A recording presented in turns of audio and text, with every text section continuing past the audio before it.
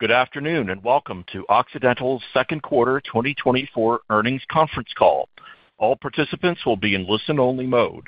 Should you need assistance, please signal a conference specialist by pressing the star key followed by zero.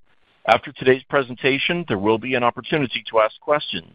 To ask a question, you may press star, then one on your touch-tone phone. To withdraw your question, please press star, then two. Please note, this event is being recorded. I would now like to turn the conference over to Jordan Tanner, Vice President of Investor Relations. Please go ahead. Thank you, Drew. Good afternoon, everyone, and thank you for participating in Occidental's second quarter 2024 earnings conference call.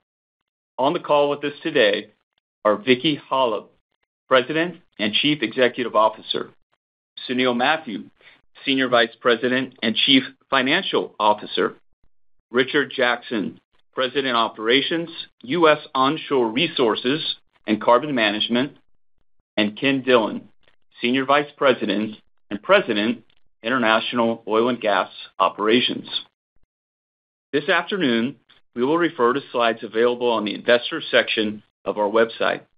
The presentation includes a cautionary statement on slide two regarding forward-looking statements that will be made on the call this afternoon. We'll also reference a few non-GAAP financial measures today. Reconciliations to the nearest corresponding GAAP measure can be found in the schedules to our earnings release and on our website. I will now turn the call over to Vicki. Thank you, Jordan, and good afternoon, everyone. I'll begin today by highlighting another quarter of exceptional execution across our business segments. Our teams delivered strong operational performance during the second quarter. Our technical and operational excellence, paired with a high-quality asset portfolio, continued to deliver value across our businesses. Last week, we further strengthened our portfolio through the addition of CrownRock's assets in the Midland Basin. We were also pleased to announce that our strategic divestiture program is progressing, and we have clear line of sight to meeting the debt reduction targets we set out when we announced the deal last December. This afternoon, I'll cover our second quarter results and operational performance, as well as our CrownRock integration plans. Sunil will then review our financial results and guidance, including an increase in full-year guidance for our midstream earnings. In the second quarter, we delivered Oxy's highest quarterly production in four years for both total company and U.S. onshore. This exceeds the midpoint of total company production guidance generating $1.3 billion in free cash flow before working capital. This was driven by exceptional execution across our business segments, with notably strong Permian new well performance and higher production uptime, along with outperformance in the Gulf of Mexico. We're exceeding our production expectations for onshore new wells across all our basins and are continuing to achieve operational efficiencies as we execute our capital program. This year to date, we've seen approximately 10% improvement in our unconventional well costs compared to the first half of last year, putting us ahead of our planned well cost savings. These savings have been achieved through lower non-productive time, increased frac utilization, operational efficiency gains, and facilities optimization as part of our focused program to lower well costs, decrease time to market, and increase free cash flow. We anticipate further acceleration in time to market in the second half of the year. Importantly, we continue to deliver industry-leading performance in secondary bench development, supporting long-term economics and inventory replenishment. The momentum we are generating on development cost across many facets should translate to capital efficiency improvements as we look toward the end of the year and into 2025. In addition to improved capital efficiency and continued well performance leadership, our teams have driven down lease operating expenses across our domestic assets to enhance our cash margins. In the second quarter, our per BOE lease operating expenses decreased over $0.60 a barrel, a 6% improvement relative to the average of the prior three quarters. We have several more optimization initiatives planned for the second half of the year, which should give us a favorable outlook toward year-end. For example, in our Permian EOR business, we are finding ways to utilize CO2 more efficiently in our reservoirs. We're also optimizing our artificial lift, which has led to reduced failure rates and associated downhole maintenance costs. In the Delaware Basin, we've decreased water disposal costs by doubling the volume of water recycled relative to the first half of last year. Water stewardship remains a key priority in our operations, and I'm pleased to highlight a recent milestone in which we recycled a cumulative 50 million barrels in our Midland South Curtis Ranch treatment facility. In addition, we have now recycled over 150 million barrels in our New Mexico operations since 2019. Overall, we have built solid oil and gas segment momentum as we move into the second half of 2024.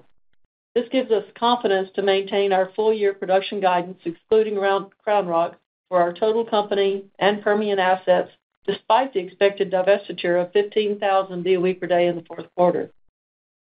Our midstream business significantly outperformed in the second quarter, with an adjusted pre-tax income more than $180 million higher than the guidance midpoint. Our domestic gas marketing teams followed up on the success of their first quarter by utilizing this their extensive market intelligence and transportation capability to benefit from regional pricing dislocations. Furthermore, as healthy storage levels and stable Permian output continued from earlier in the year, the second quarter presented abnormally high planned and unplanned maintenance on takeaway pipelines. Our teams capitalized on this opportunity, highlighting the value the diversity of our asset base provides. As we look ahead to the second half of the year, we anticipate fewer opportunities for optimization after the Matterhorn pipeline is placed in service, which is expected in the coming months. However, our teams will be prepared to act if additional bottlenecks arise. Looking now at our low-carbon businesses, we're excited by the advancements we're making. As construction of Stratos, our first direct air capture facility, moves forward, our Low Carbon Ventures team continues to demonstrate that demand for carbon dioxide removal credits is growing. In July, we announced an agreement with Microsoft for the sale of 500,000 metric tons of CDR credits over six years from Stratos. The agreement is the largest single purchase of direct air capture CDR credits to date and highlights the increasing recognition of Carbon Engineering's technology as a solution to help organizations achieve their net zero goals. I would now like to talk about how pleased we are to integrate CrownRock into the greater Oxy portfolio. We closed the acquisition on August 1st, and we continue to be impressed with CrownRock's efficient operations and employee talent.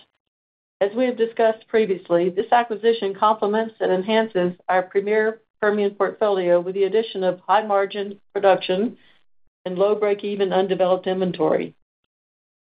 We're excited about the subsurface and geologic potential of these assets, and our technical teams are eager to apply their subsurface expertise and workflows to generate maximum value. We're also looking forward to leveraging our newfound scale in the Midland Basin. Over the years, we've seen how scale has driven significant technical advancements and operational efficiencies in our other basins. We're confident that as we integrate our Midland Basin assets, we'll unlock meaningful efficiencies through infrastructure sharing, resource utilization, and by bringing together best practices from each of our organizations. Our combined teams have made great strides in the past several days getting to know each other and integrating CrownRock into Oxy's organization. On our next call, we're looking forward to telling you more about our post-CrownRock enhanced portfolio and how the integration is advancing. One of the many benefits of this acquisition was the opportunity to high-grade Oxy's existing portfolio of assets. In December, we laid out plans for a $4.5 billion-$6 billion divestiture program to be completed within 18 months of the acquisition's close.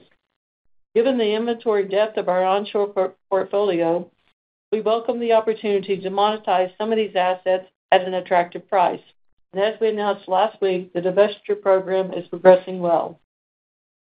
Since the start of the year, we have closed or announced approximately $1 billion of Permian Basin divestitures. The proceeds from these sales will go directly toward debt reduction. This progress on divestitures, coupled with robust organic cash flow underpinned by our steady focus on operational excellence, has positioned us well to reduce our debt in the near term.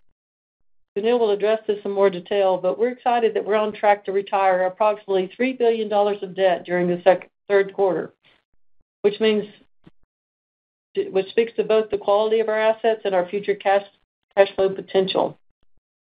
Now I'll hand the call over to Sunil to provide more details about our second quarter financial results, our guidance, and progress on strategic financial action. Thank you, Vicki. We are excited with the recent progress we have made in executing the portfolio high-grading plan we outlined in December. Oxy has realized an immediate enhancement of our U.S. onshore portfolio with low break-even inventory and expansion of free cash flow generation potential upon the closing of CrownRock last week. The opportunity to build scale in the Midland Basin made this transaction a strategic fit for Oxy, and the newly acquired assets will immediately compete for capital. In late July, we issued $5 billion of senior unsecured notes we used the net proceeds of the offering and term loans to fund the cash consideration of the CrownRock acquisition. Overall, we were highly pleased with the investor demand for the bond offering. We placed notes maturing in five tranches at three, five, long seven, 10, and 30 years at a weighted average coupon rate of less than 5.5%, creating a manageable debt maturity profile given our deleveraging plans. Our efforts to strengthen our balance sheet remain a top priority, and we are achieving early success in debt reduction. In July, we retired $400 million of debt at maturity, and our strong organic free cash flow is enabling further deleveraging progress in the coming weeks. By the end of August, between additional Oxy maturities and the early redemption of Rock's notes, we will have repaid an additional $1.9 billion of debt, bringing the total to $2.3 billion. Add to this the proceeds from the Barilla Draw divestiture, and we expect to have repaid over $3 billion in debt by the end of the third quarter, which is almost 70% of our near-term reduction commitment of $4.5 billion we will continue to prudently advance deleveraging via free cash flow and proceeds from our divestiture program. We were pleased last week to announce the agreement to sell certain Delaware Basin assets for approximately $880 million. The core of this divestiture centers around approximately 27,500 net acres in the Barilla Draw field of the Texas Delaware Basin. While these assets have been core to Oxy's Southern Delaware position for over a decade, the remaining inventory is longer dated in our current development plans. We anticipate closing the sale late in the third quarter and estimate a 15,000 BOE per day reduction in fourth quarter Permian production. Separate from this transaction, we also announced additional completed dispositions from earlier in the year involving several smaller undeveloped acreage positions throughout the Permian, approximately $152 million in total. This brings total year-to-date closed or announced divestments to $970 million. Consistent with our cash flow priorities, all net proceeds from these sales will be allocated to debt reduction. We are satisfied with the progress of our divestiture program and the trajectory of debt reduction plans.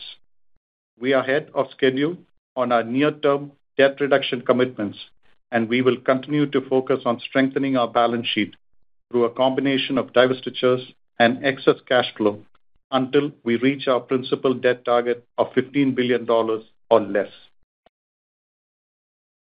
In the second quarter, we generated both an adjusted and reported profit of $1.03 per diluted share, and exited the second quarter with $1.8 billion of unrestricted cash.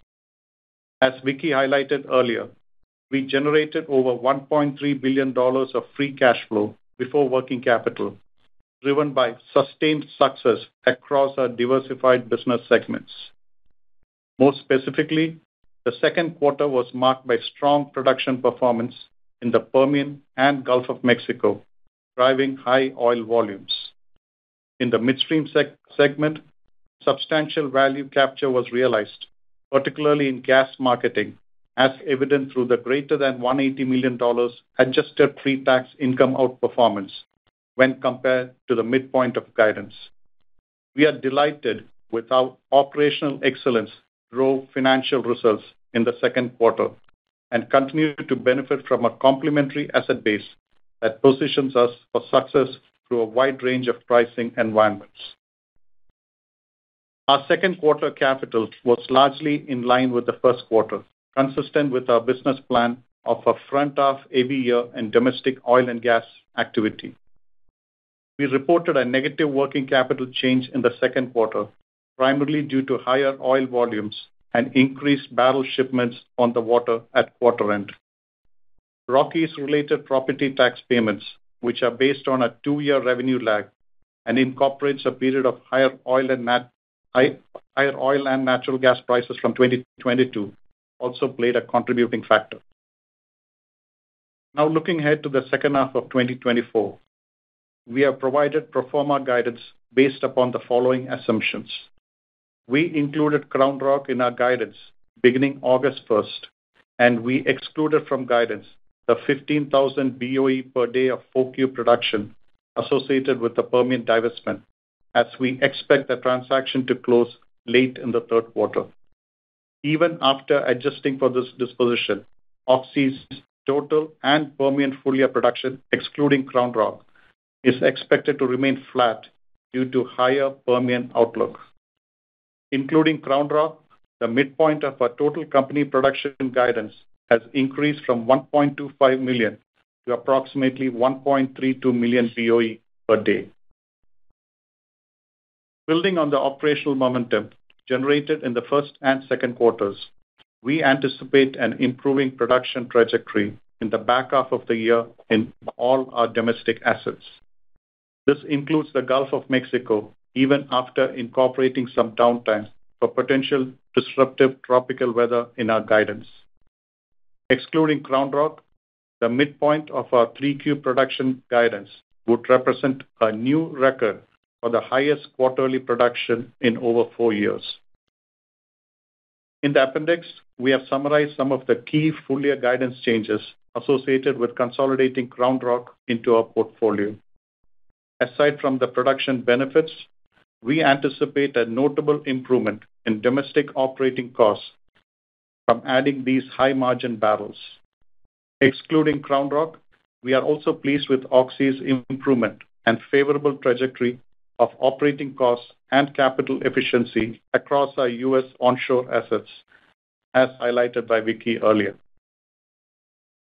OxyChem's 2024 business is performing well, with results largely in line with the plan we laid out at the start of the year. However, challenging economic conditions in China combined with the continued deferral of interest rate reductions, have dampened OxyChem's trajectory for the year. As a result, we are revising OxyChem's full-year guidance down to a range of $1 billion-$1.1 billion. We continue to anticipate that 2024 will be another strong year for OxyChem by historical standards. With midstream and marketing's strong second quarter, we have raised full-year guidance by $220 million. We anticipate a more muted third quarter as additional Permian gas takeaway capacity is expected to come online, reducing gas marketing optimization opportunities. We continue to execute our 2024 capital program as scheduled.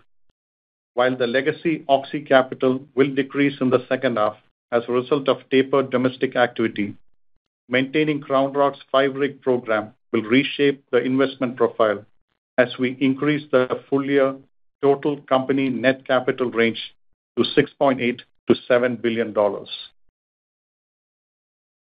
In closing, I want to discuss how Oxy is delivering on the financial milestones we laid out in December. A sustainable and growing dividend is the foundation of our shareholder return priorities. Earlier this year, we followed through on a commitment we made when we announced the CrownRock acquisition and raised our quarterly common dividend by over 22%. The free cash flow accretion that we anticipate from CrownRock, along with the expected improvements from our non-oil and gas segments of our portfolio, provided us with the confidence to raise the dividend.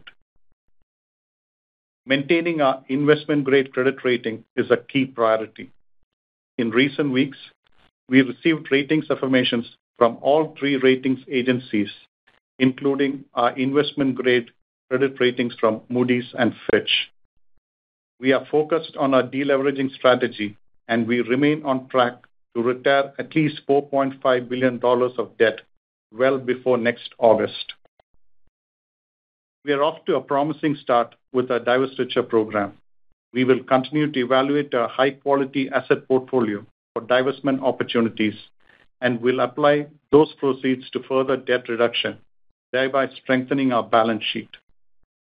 Oxy is methodically delivering on these key financial commitments. The strategic and financial actions we have taken over recent quarters are converging to benefit our portfolio, increase cash flow generation capability, and ultimately accelerate shareholder value. I will now turn the call back over to Vicki. Thank you, Sunil. Before we move on to the Q&A, I would like to close by focusing on a few of Oxy's differentiated value catalysts.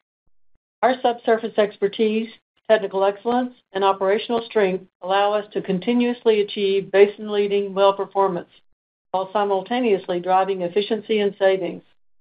The addition of CrownRock further enhances what I believe is Oxy's strongest portfolio in our century-long history, and it kicks off another phase of Oxy's cash flow growth with future upside through improved resource recovery and lower cost opportunities. I can't wait to see the value that the newly combined teams deliver, given the quality and depth of development opportunities coming with this new asset. Beyond oil and gas, we expect our OxyChem and midstream businesses to continue to provide material cash flow durability in the years ahead. Finally, LCV continues to develop practical decarbonization solutions that are solidifying our leadership in this important emerging market. These businesses together position Oxy's common shareholders to benefit financially for decades to come. We will now open the call for questions. As Jordan mentioned, Richard Jackson and Ken Dillon are on the call with us today for the Q&A session. We will now begin the question-and-answer session. To ask a question, you may press star then one on your touch-tone phone. If you're using a speakerphone, please pick up your handset before pressing the keys. To withdraw your question, please press star then two. Please limit yourself to one primary question and one follow-up. At this time, we will pause momentarily to assemble our roster. The first question comes from Neil Mehta with Goldman Sachs. Please go ahead. Good morning, Vicki and team, and uh, good progress here on uh, deleveraging. That's kind of where I want to start. Um, recognize the Barilla draw announcement here a couple days ago, but uh, you know, what's the asset sale market look like? And can you talk about the opportunity set to continue to make progress on uh, monetization? Yeah, um, as you know, we have a deep inventory of um, assets, and our portfolio is very, very strong. And I, you know, certainly appreciate your interest in the details, but we feel like talking in detail about what the assets would be uh, would compromise our ability to maximize the value of those divestitures.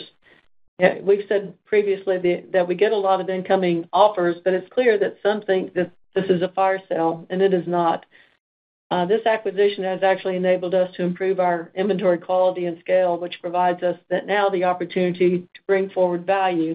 That's what we did with this CrownRock uh, acquisition. It's not that the assets that we just sold weren't, um, as Sunil said, a part of our core for 10 years. It's that we knew that we needed to bring forward the value to our shareholders, and we did it in a way that makes our inventory stronger, so it was the best possible way to do it.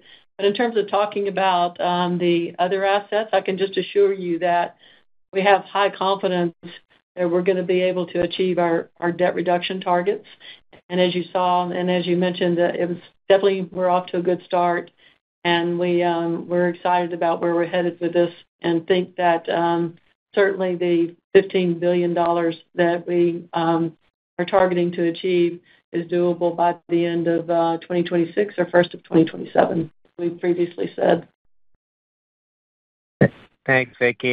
Just the follow up uh, on the Crown Rock acquisition, uh, just building off slide 27, just your early thoughts, recognizing you're going to give us more next quarter on um, potential synergies and thoughts about the production profile. I know you had talked about this being a 170,000 barrel a day asset, and the guide is a little softer than that, but recognize that it's not a full year and you haven't gotten your hands full on these assets. Just your perspective on the production profile and the synergies associated with that?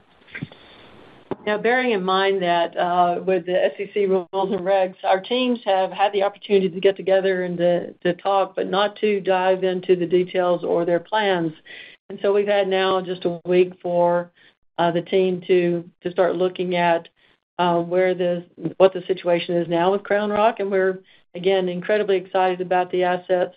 Um, but I think Richard's team, you have found some additional details that have differentiated what we were expecting versus what um, happened over the past couple of quarters. Yeah, that's great. Uh, thanks, Vicki. And I'll try to answer this question in a couple of pieces. I'll start with sort of where we're at today. And like Vicki said, I guess the first thing to say, just very excited to uh, work with our new team and was able to spend some time, you know, after close, uh, you know, in the last week with them and, you know, everything that we thought they would be, they are, and very excited about uh, really the opportunity. So The first part, I'll kind of address where we are, and then I'll go ahead and speak uh, to some of the synergies and how we're thinking about that generally. and then As I think we said in our prepared remarks, we'll have more updates, I think, as we go into the end of the year. So Where we start, Again, uh, this plan started, you know, with the rules that uh, uh, Rock really had a 2024 plan that they constructed. We, um, you know, didn't have a lot of insight to that, and so we've spent time kind of understanding where we are. Um, and, you know, lots of positives. The upsides that we saw, not only in a one-year program, but longer term, still see.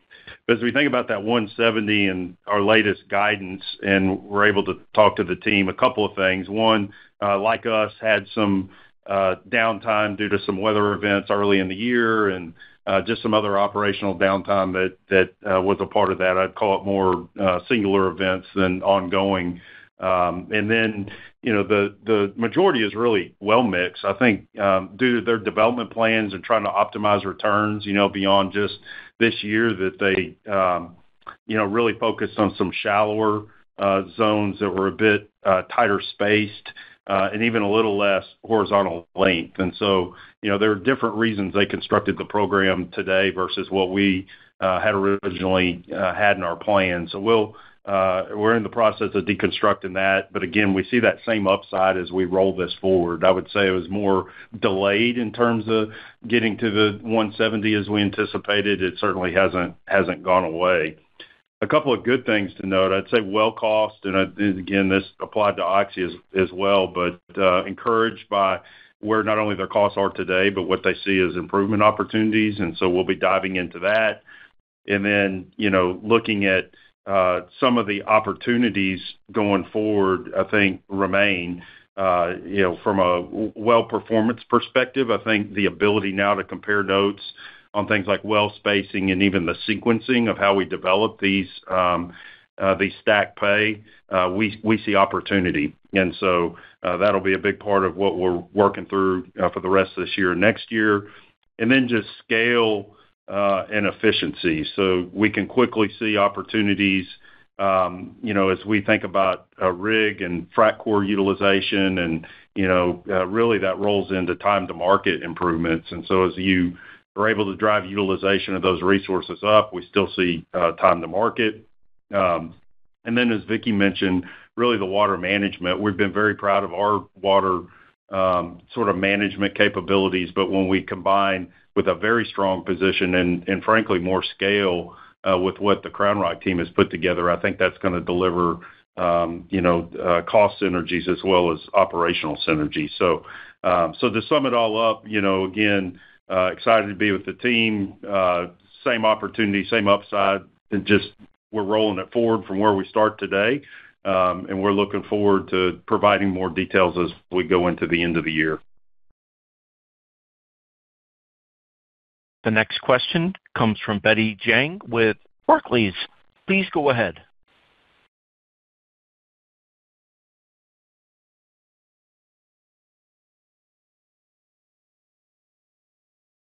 Excuse me, Ms. Jiang, your line is open. Oh, sorry. Uh, I was on mute. Please go ahead. Um, hi, good afternoon. Sorry about that. Um, maybe uh, I want to switch gear a bit. Um, want to ask about the Stratos uh, project. Really, uh, congratulations on signing the agreement with Microsoft this quarter. And want to get an update on where that project is today, the startup timing on that? And any goal on what percentage of the carbon uh, uh, credits that you want to sell ahead of time? Um, and yeah, maybe start from there. Great. No, thanks for the question. We're um, excited, uh, certainly, with the Stratos project and the progress. And I'll flip it to Ken after a few remarks to kind of give you more detail on that. But I'd say generally, uh, continue to see great progress in the business. Obviously, the um, sales with Microsoft not only be the largest CDR kind of uh, block sale uh, to date, but really that counterparty meant a lot to us. We know they're very diligent in the way they think about what the product of a CDR can mean to their business. and It's just great constructive dialogue that ultimately rolls into the future market and what that product can deliver. So beyond just the monetary aspect of that, um, very pleased with that uh, outcome. I'd say the other thing I'd like to highlight, and I think, again, as we roll into Stratos next year and then uh, think about the future, continue to see great progress out of our Carbon Engineering um, R&D team. And so uh, as we think about the core elements of that process, being able to process air, uh, capture CO2 in our sorbent, liquid sorbent, and then, you know, how do you efficiently release that and and either sequester or use it?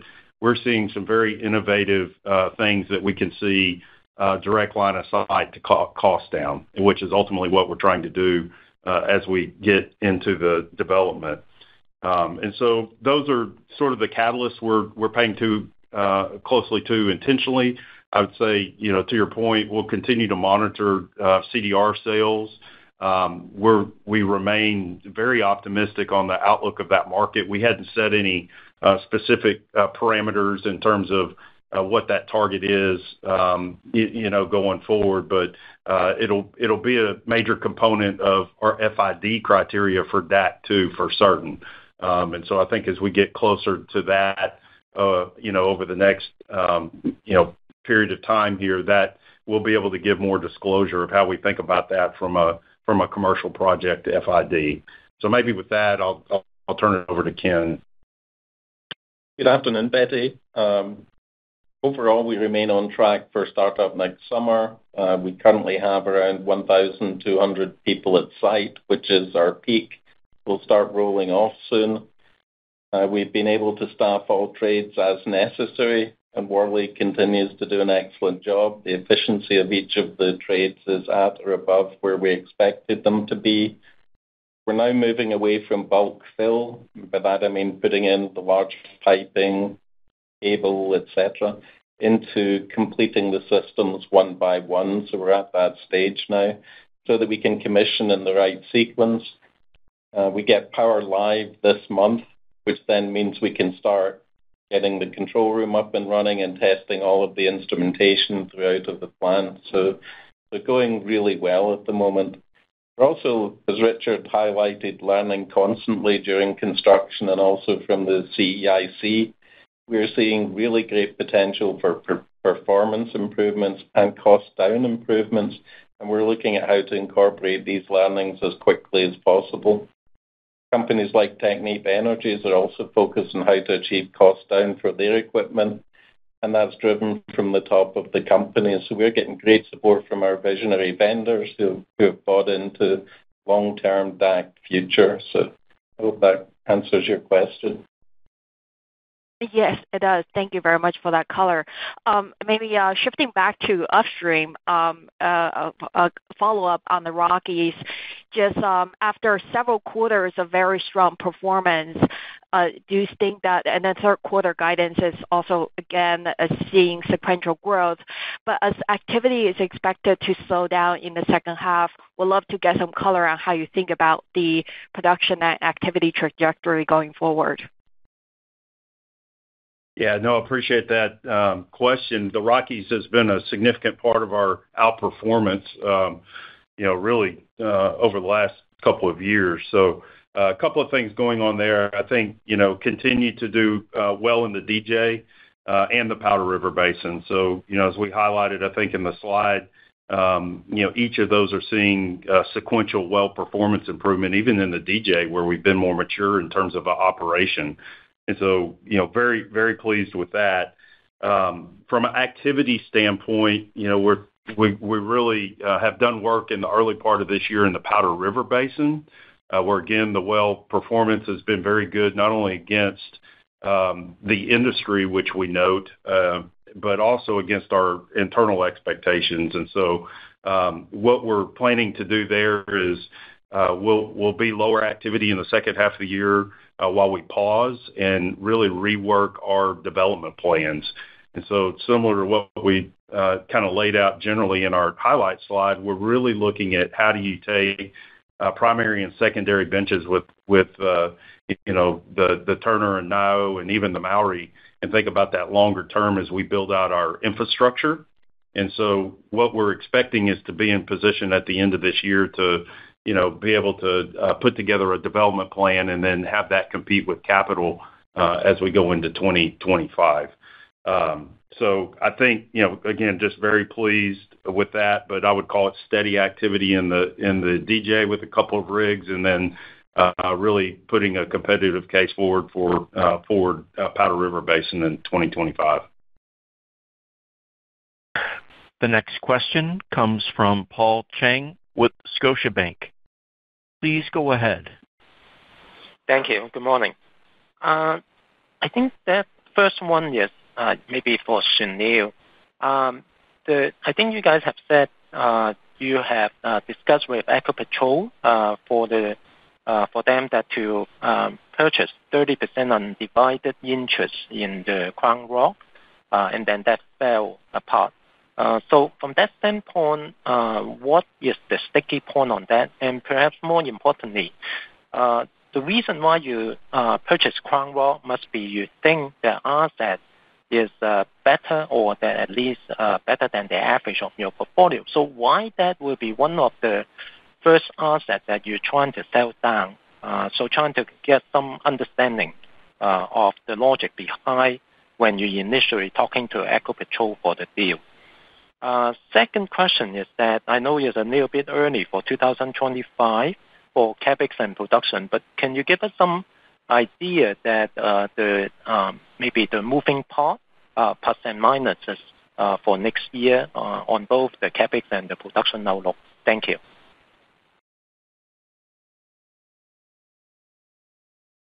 Um, Paul, thank you for the question.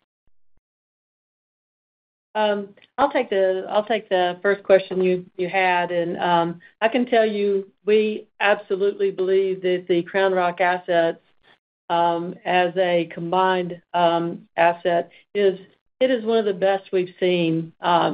Tim Dunn did a great job of putting together the uh, portfolio of assets that CrownRock had, and they did a great job of developing it and there's a lot of really good um, um, possibilities in there for uh, continued uh, expansion. And as you know, the inventory came in mostly in our Tier 1 inventory.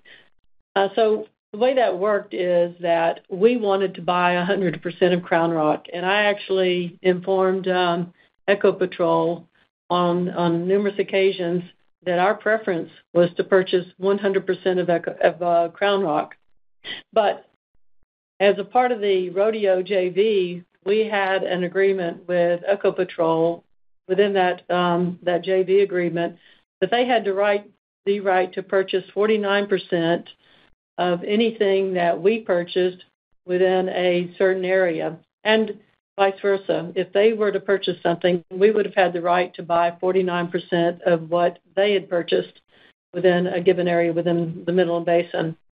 Um, so we wanted it all but they also wanted to be a part of it. They saw the assets. They know they were high-quality assets. They wanted to be a part of it. Um, so since they are a valued partner to us, we've been uh, in partnerships with them uh, for decades, and we have a great relationship with them. So we negotiated to a 30% working interest that we felt like would be fair and beneficial to both of us. And we worked on that deal from March to just last week, and we thought we were done but um, President Petro of Colombia didn't approve of it. Uh, he and you know he's made it very clear to the world that he's anti-oil and gas, anti-fracking, and anti-U.S. And with those three, strikes, he he pretty much dealt the uh, Ecopetrol uh, out of the deal, and that's all um, according to news reports. But but certainly we wanted it all. They wanted a, part of it. Um, you know, unfortunately, there are others in the world like uh, Petro, um, and there are some uh, actually in the United States like Petro who believe that oil and gas should go away and believe that um, we shouldn't be um, an industry anymore and that renewable energy will be all that's needed to go forward and uh, to help with the climate transition. But the reality is that, as you know, oil and gas is going to be needed for many decades to come. And so the other part of what Patrol had some interest in was our strategy. Um, our strategy in the Midland Basin with respect to CO2 and enhanced oil recovery. Um, our strategy is very important to the world in that we're gonna be taking CO2 out of the atmosphere and putting it in the assets that we have in the Midland Basin, including CrownRock, to get more oil out of the ground. They were very excited about that and wanted to be a part of it. The next question comes from Doug Leggate with Wolfe Research. Please go ahead. Hi, this is John Abbott on for Doug Is Just sticking with um, the Ecopetrol Shale joint venture, how much production is associated with that JV? And, uh, you know, just out of curiosity, if they did not want to continue in the Midland for some reason, would you be potentially interested in that asset?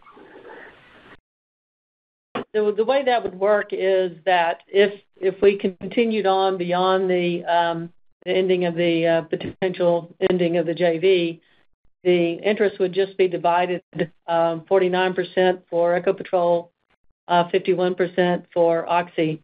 So a discontinuation of the JV would just result in um, a couple of scenarios, one being um, if we just broke it off, didn't go forward at all with the JV, we would each just have just like a normal uh, operating situation where it's 51% us, 49% them. Did that answer your question? Yeah, I was just sort of curious if you would be interested in that asset and just sort of curious as to how much production may be associated with that joint venture currently. I believe that's around 40,000 barrels a day. Yeah, that's right. Yeah, it's around 40. Okay. That's very helpful. And then for the second question, very quickly, what was the run rate spending at CrownRock? Rock? was about, was it $900?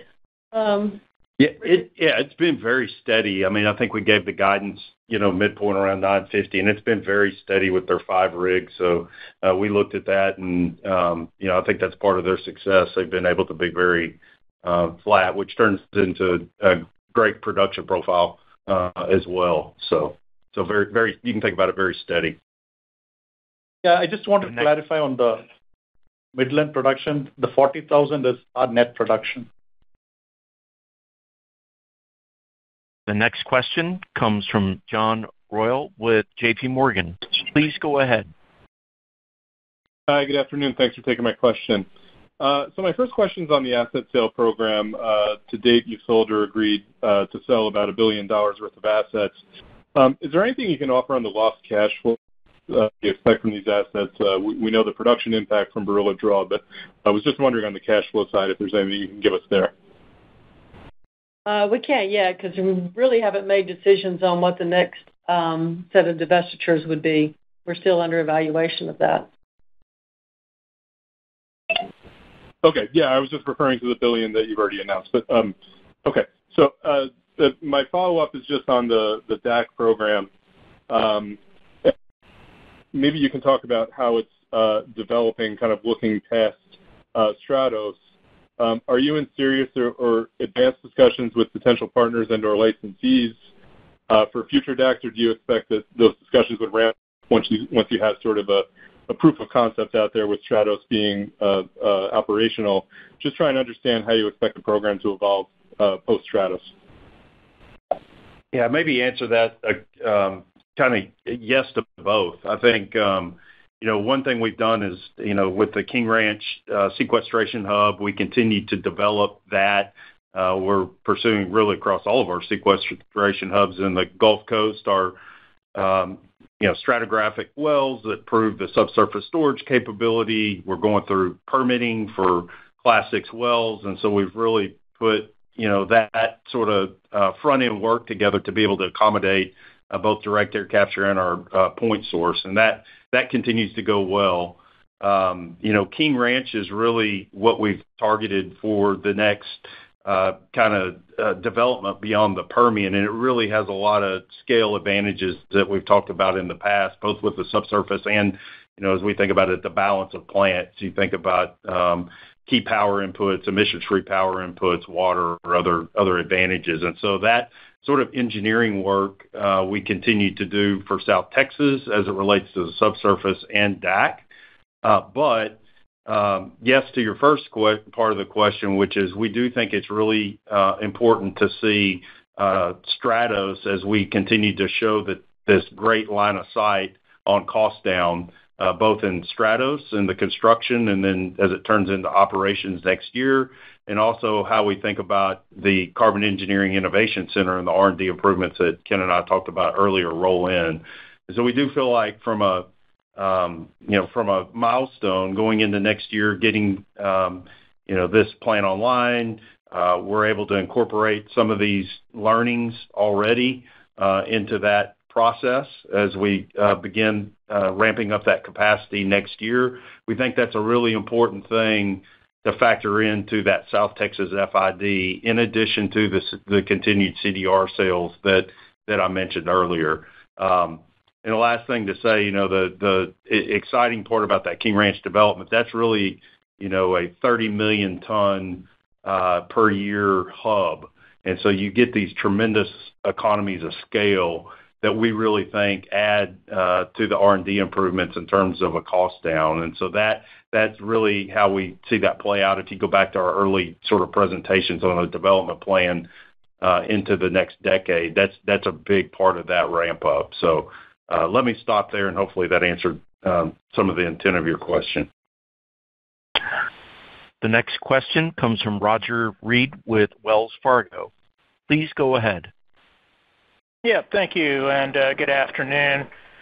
Um, I guess I'd kind of like to come at the question on the cash returns. Um, you know, comments were made in the presentation on the catch-up calls uh, yesterday. You know, get the debt paid down and then get back to um, buying back shares, potentially even, you know, go after retiring the preferred. I'm just curious kind of how you're looking at that in terms of what you would want to do once um, the balance sheet's where you want it?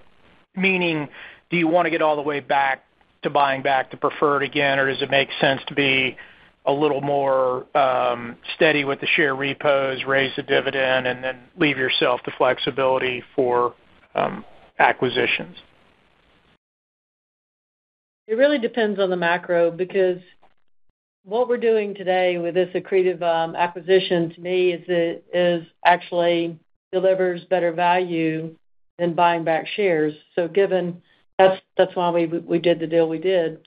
Um, but Share repurchases still is a part of our uh, value proposition, and especially given the fact that our share price is so much lower than we believe uh, where it should be.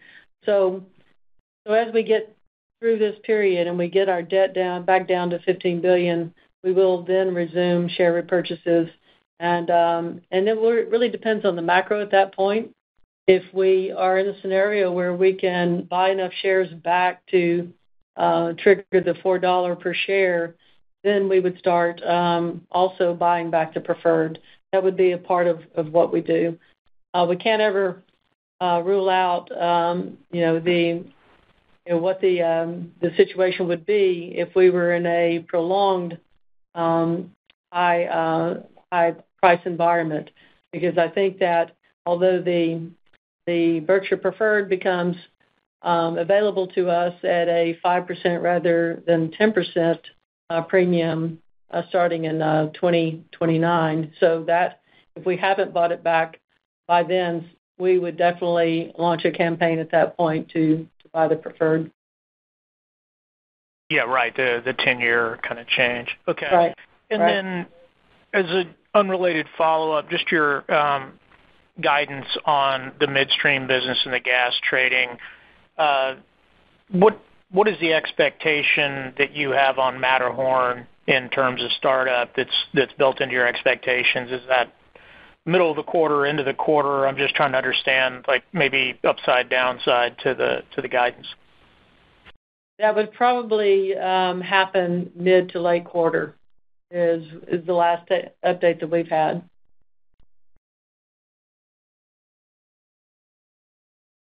The next question comes from Neal Dingmann with Truist Securities. Good afternoon. Thanks for taking my question. Um, my first question, Vicki, is just on the Gulf of Mexico. Specifically, could you give some color as how active you might be with tiebacks through the remainder of the year? I think you've got a lot of opportunities there, and then maybe even you know, I look at all the exploration opportunities, I'm just, you know, given all these opportunities you have, do you anticipate a bit more startups there on the exploration side starting next year? You know, the exploration, it won't be as aggressive as it's been in the past because of the fact that we've launched an evaluation uh, using um, data analytics and AI. and What we want to do is give our teams the tools that we believe will help even further understand what's happening in the subsurface of the very complex deepwater uh, prospects within the Gulf of Mexico. But The exciting thing is we have numerous other things that we can do in the Gulf of Mexico uh, that Ken can describe.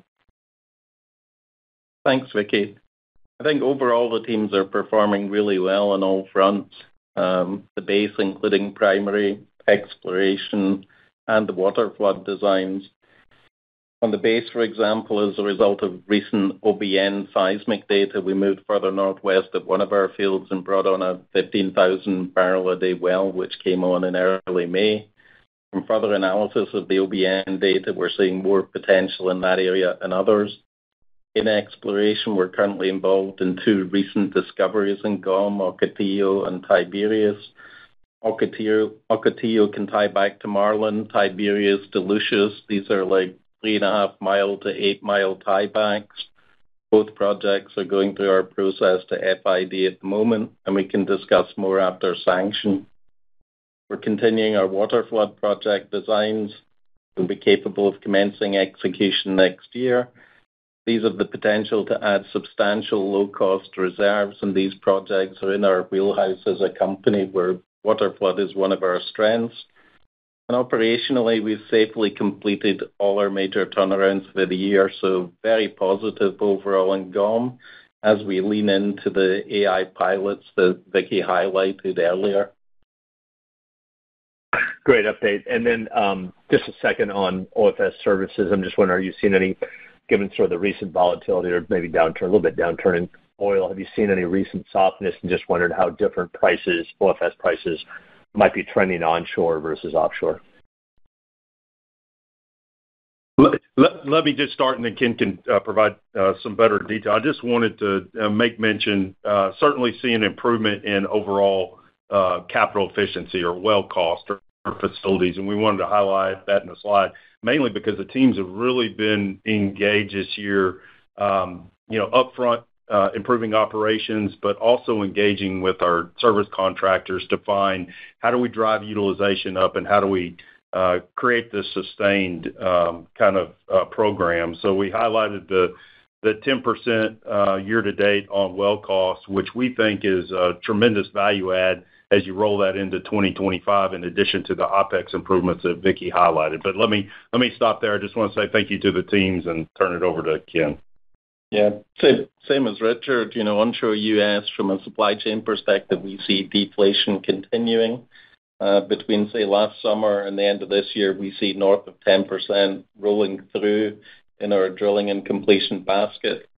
We also see OCTG significantly higher than that in terms of deflation, which also benefits, you know, all the other functions. You see continued focus by the contractors to improve efficiency and technology, so e-fleets, AutoFrac. They're really pushing the technology aspects, and they're working with us on utilization. And it's not only the efficiency that comes with utilization, but because of the planning that Richard's teams are doing, it releases those contractors to use that equipment in the spaces we're not, so they can maximize their margins also having mass matters, so rock will enable more value in that space in the Midland Basin, so it's definitely accretive. Hope that answers the question. The next question comes from David Deckelbaum with TD Cowen. Please go ahead. Afternoon, Vicki and team. Thanks for taking my questions. Um, I was curious if I could ask a little bit more just on the CrownRock progression into next year. I think you all still are standing by getting towards that 170,000 a day target and then perhaps growing it from there. When we think about CapEx uh, for next year, given that this was a high-graded transaction, do you see the CrownRock assets sort of thieving some capital from some areas that you were spending money on in 2024? Um, as we think about that program? And I guess in part of that, uh, is there some savings on the CapEx side associated with selling Barilla Draw? Um, I would say that we would keep the same activity level with uh, CrownRock uh, going into next year. They've had this, as Richard said earlier, this same activity level for quite a while. It's worked well for them. And we think that with the capability of our teams working together that we'll actually be able to maybe do more with less. And so we think that's going to be a good news story. So likely no increase in activity in CrownRock. And the um, uh, Barilla Draw, part of the reason that we divested of Barilla Draw is because we weren't investing capital there because we had um, development going on in other areas that was taking the capital away from Barilla Draw. And so our philosophy has always been um, if we have an asset that doesn't compete for capital and/or uh, would have competed under different circumstances, but we're not going to get to it for 5-10 to years, then uh, that's why we divest of it. I appreciate the color there. Um, then maybe my second question just on direct air capture, just following Stratos. I know there was some enthusiasm, especially last year, around ADNOC and their interest in direct air capture. You know, would you characterize most of your conversations with most parties at this point as sort of being in a wait-and-see mode around Stratos and how, you know, some of these first projects perform? I would say there's a lot of interest in Stratos, and it's now I think about every conference around the world and companies around the world are all talking about Stratos. In fact, we had a major uh, operator, um, an international operator, come and visit our site because there's a lot of interest in it. But as um, Richard said, first of all, we want to get it up and running and um, because we believe that as we prove it up, as we make it better, that it's going to be uh, much more valuable than what people realize today. Richard, did you have something to add? No, I just think that's right. I mean, I think uh, we continue to talk, you know, our ambitious plans. We think that there's uh, a lot of scale in terms of development. You've seen, you know, some of our development plans. As we prove it, as we give line of sight to cost down, we're very confident that both strategic and capital partners are gonna have an investable um, you know, development that will be able to help us. So that is our strategy, but I mean, we're doing a lot of engagement on multiple fronts, both from offtake and uh, future capital partnerships. So, um, appreciate that question. In the interest of time, this concludes our question and answer session. I would like to turn the conference back over to Vicki Hollub for any closing remarks. I'd just like to say thank you all for your questions, and have a great rest of your day. The conference has now concluded. Thank you for attending today's presentation. You may now disconnect.